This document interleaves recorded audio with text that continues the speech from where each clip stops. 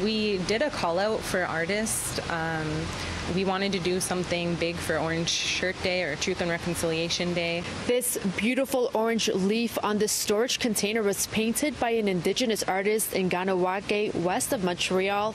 It's serving as a landmark ahead of National Day of Truth and Reconciliation and Orange Shirt Day with the message of every child matters across the top. There are some like key icons that are often utilized to represent Orange Shirt Day. I just try to encapsulate a lot of those. So as you can see, there is an orange shirt incorporated just to really get the message across. And this is, after all, about the children. So you'll see a young lady on there to just represent the children. We also have a feather in an upsweeping motion to kind of just show that like things are going up from here, you know?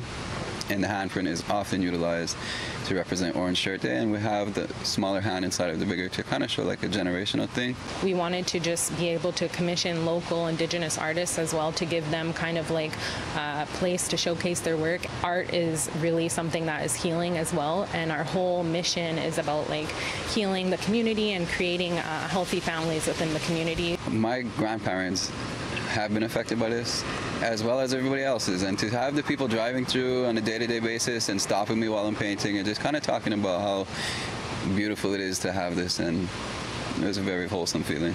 But we're definitely going to do other collaborative community pieces because the, after doing this one, we just realized there's a need for it. So many people came out and just kind of shared their feelings about the art as well, and we realized how like really healing it was. This case particular, I think it was important to have an Indigenous artist to really hit the message across for the Indigenous people. In Montreal, Swidda Rassy, City News. Ahead on City News.